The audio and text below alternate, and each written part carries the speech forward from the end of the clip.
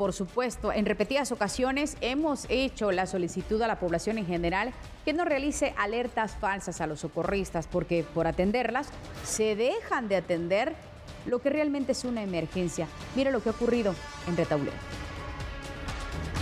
Una falsa alarma se dio a través de un audio que circuló en un grupo de emergencias de WhatsApp en Retaluleu.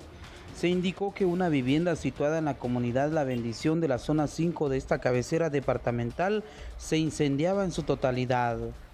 Rápidamente los bomberos voluntarios de la onceava compañía desplazaron sin dudarlo dos veces al lugar. Movilizaron dos unidades contra incendios y una ambulancia.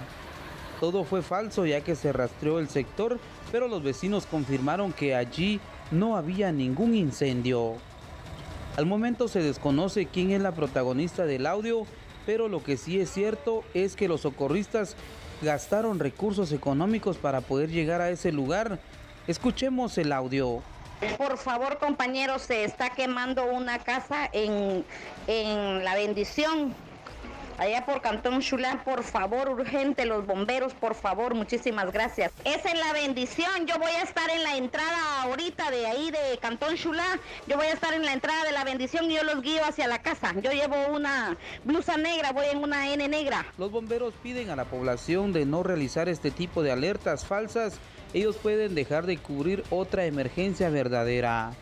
Por favor, eh, le pedimos a esas personas que están jugando eh, con los números telefónicos de los cuerpos de socorro, absténganse a hacer eso. Eh, ustedes no saben en, qué, otra situación nos encontramos.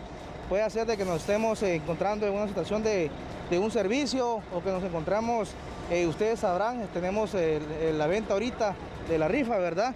Entonces nosotros nos movilizamos acá al lugar, pero asimismo también tomen conciencia, ¿verdad? Porque ahorita la estación o lo que es el casco urbano eh, se quedó sin, sin, elementos en estos momentos, ya que todos nos encontramos eh, concentrados acá en este lugar. Piden a las autoridades a que se investigue el caso. Con imágenes de Adán Tumín reportó Mario Tumín.